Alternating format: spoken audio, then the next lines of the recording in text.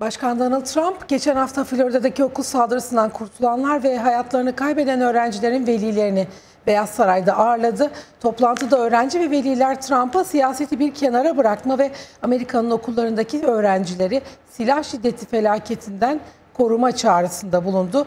Konuyla ilgili Başkan Donald Trump sabah saatlerinden itibaren sosyal medya aracılığıyla görüşlerini paylaşıyor. Peki başka neler söyledi e, Donald Trump? Nasıl yankı buldu Trump'ın sözleri? Mehmet Toroğlu ayrıntılarla karşımızda. Mehmet silah edinme taraftarı ve karşıtlarının başkana verdiği tepkiler ne oldu? Evet Beyaz Saray'daki toplantıdan başlayalım önce. Toplantı oldukça duygusal bir havada geçti. Ee, senin de dediğin gibi özellikle Trump'a işte siyaseti bir kenara bırakma çağrısında bulundu hem öğrenci hem veliler. Ee, silah şiddeti felaketinden okulları koruyacak tedbirlerin bir an önce hayata geçirilmesi çağrısında bulundular. Ee, saldırının olduğu bu Stoneman Douglas Lisesi öğrencilerinden Samuel Zaif e, oldukça duygu yüklü e, bir konuşma yaptı, sözler kullandı. Eğer e, bir öğrenci biri alacak yaşta değilse silah da alamamalı. Ortak akıl bunu gerektirir dedi.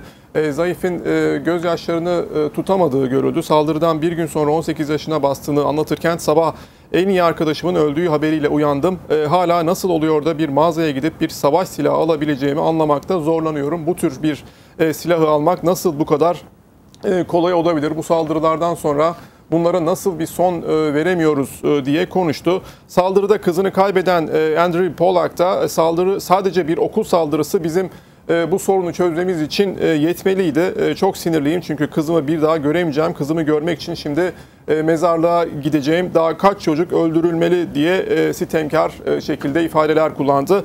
Trump'ın da toplantı sırasında anlatılanları, konuşanları dikkatle dinlediği ve harekete geçireceği sözü verdiği görüldü. Ancak Trump'ın bir e, sözü tartışma yarattı. Öğretmenlerin silahlandırılması teklifi e, tartışılıyor ülkede. E, bugün paylaştığı, bu sabah paylaştığı Twitter mesajlarıyla bu teklifine açıklık getirmeye çalıştı Trump. Şöyle dedi, yine medyayı eleştirdi, suçladı. Yalan haber medyası CNN ve NBC'nin duyurduğu gibi öğretmenlere silah verin asla demedim. Söylediğim şuydu, askeri ya da özel eğitim deneyimine sahip silah kullanabilen öğretmenlere gizli silah taşıma izni verilmesi olasılığına bakmak, değerlendirmek. E, öğretmenlerin %20'si bu sayede e, vahşi bir akıl hastası kötü niyetlerle bir okula geldiğinde buna hemen yanıt verebilecek. iyi eğitimden geçmiş öğretmenler bunu yapan korkaklar için caydırıcı da olabilir. ve güvenlik görevlilerine göre, güvenlik görevlileri yerleştirmeye göre çok daha az maliyette, çok daha fazla yatırım anlamına gelir. Silahsız bir okul kötü kişiler için e, bir mıknatıs vazifesi görüyor. Saldırılar sona erer diye yazdı. E, bu mesajından sonra başka mesajlarla paylaştı konuyla ilgili Trump. E, bu mesajlarında da okul saldırılarının ortalama 3 dakika sürdüğünü, polis ve ilk müdahale ekiplerinin olay yerine varmasının ise tahminen 5 ila 8 dakikayı alabildiğine dikkat çekti. İyi eğitimle silah kullanabilen öğretmenler bu sorunu polis daha gelmeden hemen çözebilir. Bu çok caydırıcı olur. Eğer potansiyel bir ruh hastası saldırgan bir okulda hemen ateş edebilecek yetenekte iyi silah eğitimli öğretmenlerin ve diğerlerinin olduğunu bilirse bu okula asla saldırmaz. Korkaklar oraya gitmez, sorun çözülür. Atağa geçmeliyiz. Sadece savunmada kalmak bir işe yaramıyor şeklinde e, değerlendirmelerde bulundu. Başkan Trump ayrıca silah satın almada akıl sağlığına e, özel vurgu yaparak kapsamlı geçmiş e, güvenlik taramaları sisteminin getirilmesine kuvvetli destek vereceğini kaydetti. Silah satın alma yaşının 21'e yükseltilmesi ve seri ateş e, yani silahlara e, yarı otomatik silahlara e, takılabilen ve seri ateş yapabilme olanağı tanıyan düzeneklerin satışının yasaklanmasına desteğini dile getirdi. Kongre bu konuda nihayet bir şeyler yapma havasında umarım diye yazdı Twitter mesajında. Beyaz Saray'daki toplantıda Trump silah kullanmayı bilen öğretmenlerin silahlandırılması fikrinin yanı sıra okullar genelinde eski ordu mensuplarının konuşlandırılmasının da sorunu çok iyi bir şekilde çözebileceğini savundu. Bu fikri de dile getirdi. Bu seçeneği de değerlendireceklerini söyledi Trump.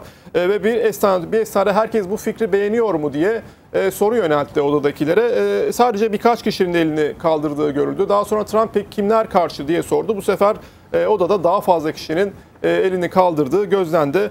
Bu arada bazı öğrenciler Beyaz Saray'ın davetini reddederek Florida daki eyalet kongresinin önünde silah kontrolü reformları yapılması çağrısında bulunan protesto gösterilerine katılmayı tercih etti. E, Trump'ın okul güvenliğiyle ilgili toplantıları, temasları devam edecek. Bugün kongre üyeleriyle e, görüşecek Trump. E, gelecek haftada valilerle bir araya gelmesi öngörülüyor. Mehmet Toroğlu, Amerika'da Florida saldırısı sonrası devam eden bireysel silahlanma tartışması ile ilgili son gelişmeleri aktardı. Teşekkürler.